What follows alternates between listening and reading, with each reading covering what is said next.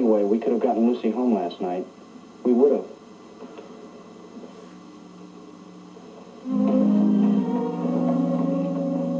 Drew, Chris, I do believe you.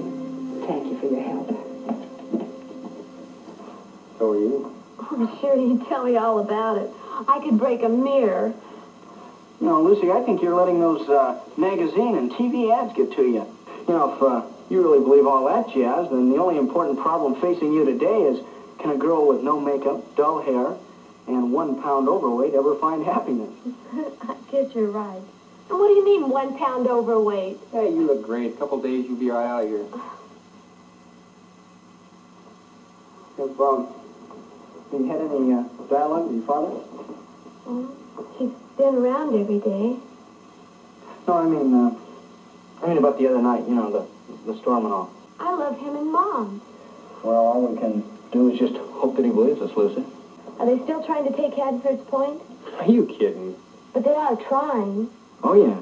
Yeah, they're trying, but they're uh, coming up like empty. You, Drew, Lucy, you're the only young generation we've got.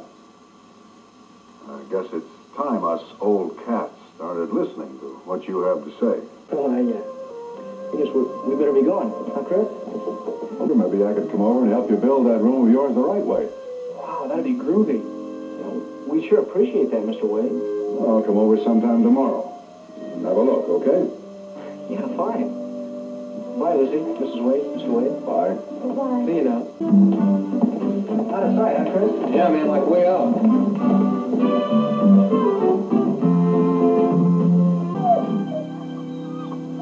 Old big dog's sure gonna miss laughing.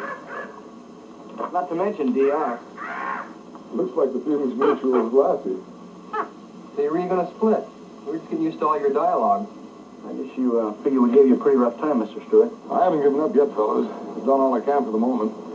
Final decision will have to be worked out by the regional office. Had to go clear to the top, huh? Protocol, chain of command, you know. The old establishment, right? Right. Sure glad that's not my bag. I still think the project is worthwhile, Chris.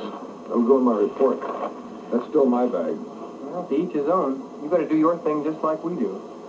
At least I think we understand each other better. But we're going to keep fighting, Mr. Stewart, all the way. Wouldn't have it any other way. Never stop fighting for what you believe in. That's what it's all about. I've enjoyed our talks. I mean it. We've had a lot of good dialogue. Same here. Come on, Lassie.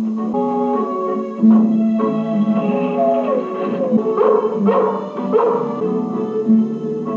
guy. Yeah, he's groovy. For an adult.